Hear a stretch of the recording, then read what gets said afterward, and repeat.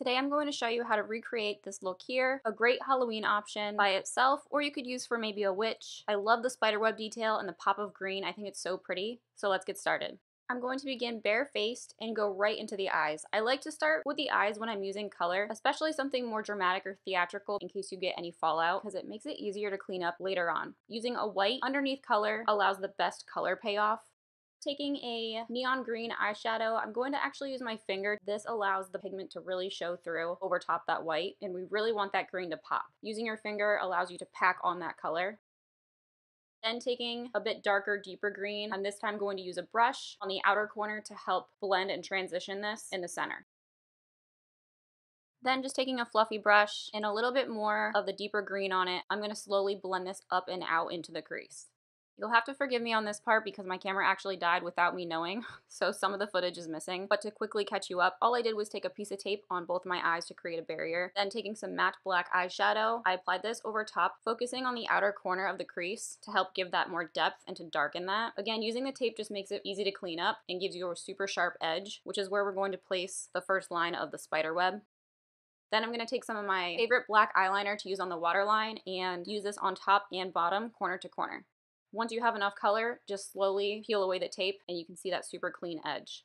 Taking a super small smudging brush and a black eyeshadow, I'm going to blend this on the lower lash line, corner to corner, to help thicken up and darken the bottom eyeliner. Then using a small detail brush and my black face paint, I'm going to put an exaggerated wing right over top where that clean edge from the tape was. This will be the first line for the spider web.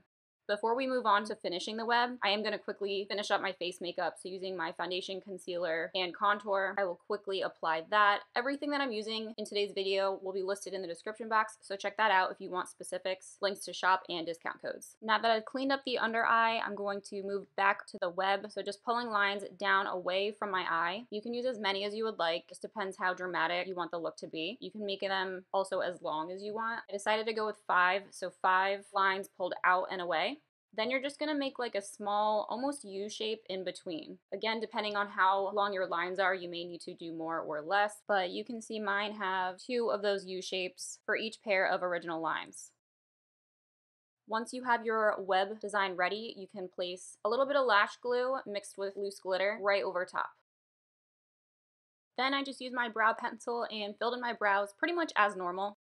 You can take a small concealer brush and clean up the edges of the web with some concealer if you feel you need to.